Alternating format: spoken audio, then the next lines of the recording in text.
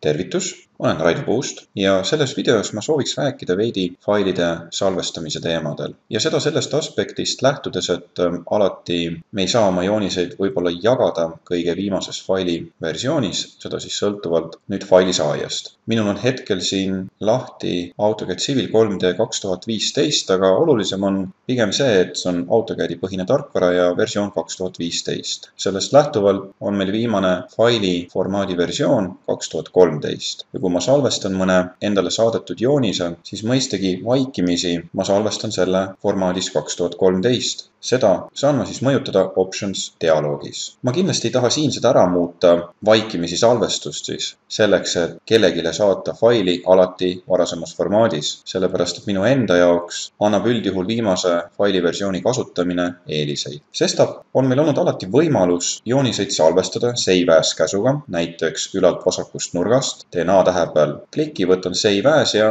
drawing. seejärel olen saanud valida, kas ma soovin näiteks selle salvestada kaks tuhat kümme, kaks tuhat seitse, kaks tuhat neli, kaks tuhat DVG formaati. selge on aga see, et iga kord seda dialoogi avada on tüütu, seda siis juhul, kui me peame korduvalt neid faile kellelegi saatma, sestap on erinevaid võimalusi ja kiiremaid võimalusi, kuidas me saame selle faili salvestada näiteks varasemasse formaati. kui nüüd rääkida kaks tuhat viisteist AutoCAD tooteseeriast, siis on siin riba all meil ka niinimetatud failipaanid. ka siit ma saan selle faili ümber salvestada, teen lihtsalt parema klõpsu ja võtan save as, kuid see idee jääb samaks, ehk siis mulle avatakse dialoog ja ma pean valima selle formaadi. alternatiivina, millest ka see video on ajendatud, on see, et ma loon makro. mõned on meist makrosid vast kasutanud näiteks Microsoft Exceli tarkvaras. makro idee seisneb selles, et ma lindistan tegevuste jada ja seejärel käivitan sellesama tegevuste jada lihtsalt ühe nupuvajutusega. ja ma olengi loonud endale siis kaks makrot, üks makro, mis salvestab joonise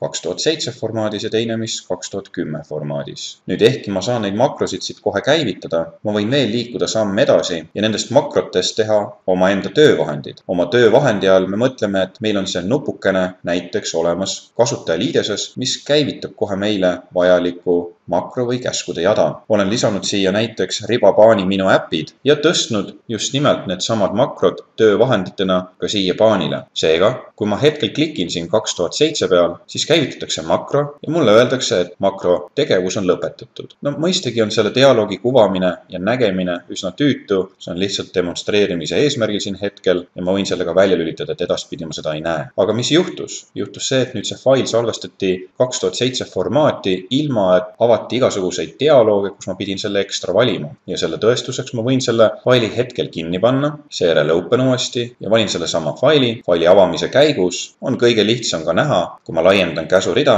et see on tõepoolest AutoCAD kaks tuhat seitse formaat. sarnaselt ma võin klikkida nüüd siin kaks tuhat kümme formaadi peal, käivitatakse makro, makro tegevus on lõpetatud, close, võin korraks selle faili jälle kinni panna, avada, open, jällegi faili avamise käigus käsurida laiendades ma näen, et tegemist on AutoCAD Word kaks tuhat kümme formaadi failiga. Neid niinimetatud töövahendeid võin ma veel tõsta erinevatele kasutajaliidese elementidele, näiteks Quick Access Spa olen ka siia tõstnud, see kaks tuhat seitse. ma võin need töövahendid koondada ka tööriistapaletile, Tool Palette, mis on jällegi üks võimalus, kus kohas hoida enda tehtud töövahendeid selleks, et nad oleksid kiiremini ja lihtsamini leitavad, kättesaadavad ja kasutatavad. nii et veel kord, selle video põhieesmärk on selgitada töövahendi olemust mis siis hõlbustab meil vältida selliseid rutiinseid või igavaid tegevusi dialoogidest mingi asja valimisega. selle asemel me võime koondada selle makroks või miks mitte ka skriptiks ja kõike seda teostada ühe klikiga. edaspidiseks tasub muidugi töövahendeid nimetada selliselt, et nad oleksid üheselt mõistetavad ja kui me neid töövahendeid näiteks soovime ka teistega jagada, siis ka nemad saavad aru, millega on tegu.